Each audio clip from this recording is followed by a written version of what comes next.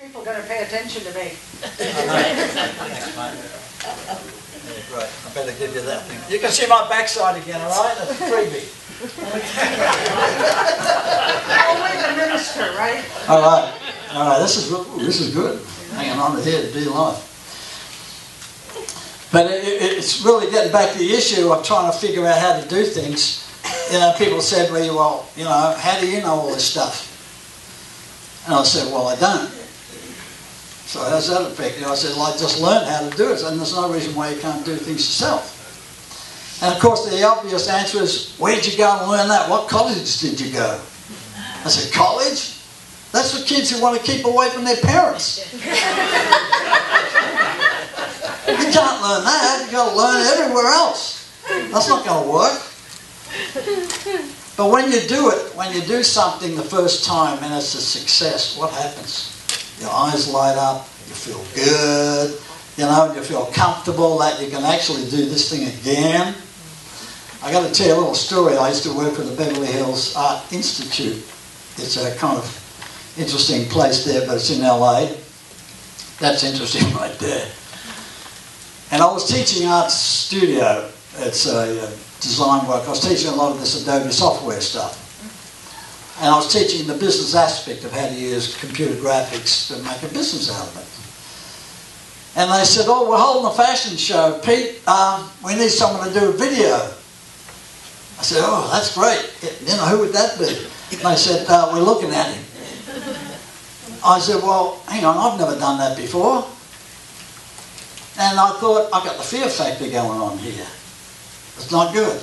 So what happened, I decided that I would learn how to do that. And here we go. I got myself a $20 camera, but I want with a little tape in it. And then a friend of mine said, well, I got a computer and uh, you can use that and it's got software on it. The software was called Windows Movie Maker. Well, mate, you might as well just have a piece of paper and rub it on your backside and that's about as best you can get out of a movie it, it really is really raw and rough. But you know what? I ended up making a really cool movie. They love it, and to this day, it's still on their website. That's criminal. but the bottom line is that you'd be surprised what you can do if you really uh, escape the fear factor. And I, I would never have been in a position I am today without having known and understood that philosophy that you can do anything if you really want to. And I'm getting to a point where what I've learnt is not necessarily what I want to retain. So it's really important that you get to a point where you want to help others with this stuff, with this knowledge. I mean, I've got extra knowledge baggage here I want to dump, so if anyone stands at the door, I'll give them a load. But the bottom line is that you've got to be able to help people with the knowledge you know. It doesn't cost anything. And it's a great thing. And it's a funny thing too because, you know, when I was early, in my early age, people were really mystified about me. Well, actually they still are now, but that's another story. And maybe I am a freak of nature. I know I've got a weird brain, so we'll just leave it at that.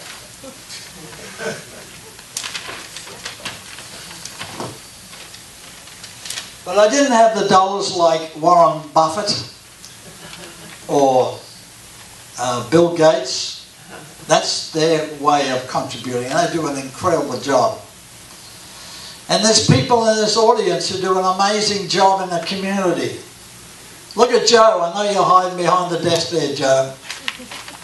But that's the top point. Another mate of mine up the back of the room there. He does a great, great stuff. And look at Reverend Jay. Their, their whole life is committed to helping people.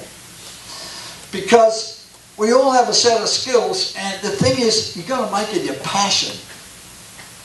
Because when you make a skill your passion, it's not work anymore. It's fun.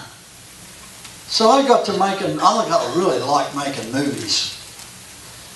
You know, you don't want to hear about that, but I love making movies. And so I just come to this place and I'm the guy that's running around with a camera in everybody's face.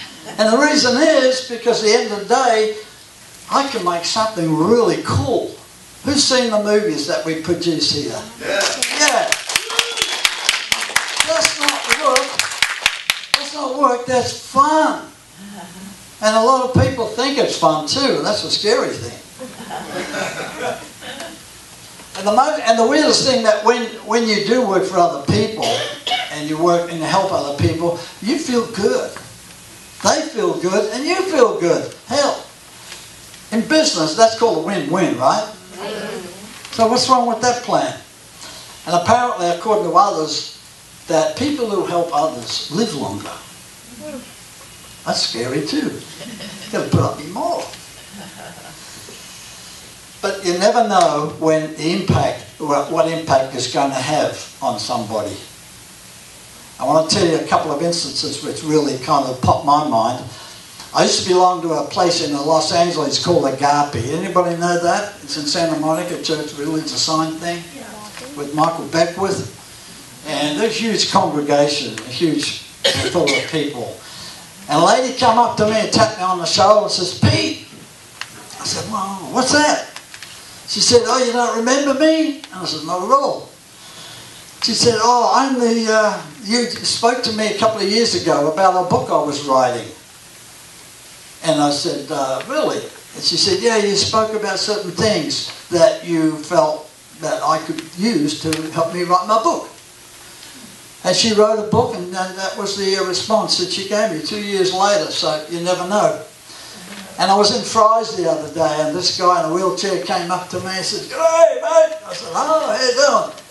I said, um, what's happening? You know, he's kind of really friendly, and I wondered what he was buying bananas for, but that's another story. and he said, he said, oh, you don't remember me? And I said, no, well, um, actually I might, if you tell me a bit more.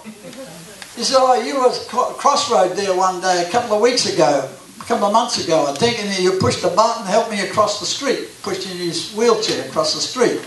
See, the thing is, the simplest things you do sometimes have the biggest impact on others. And that's, the, that's what the, the beauty of this whole thing is.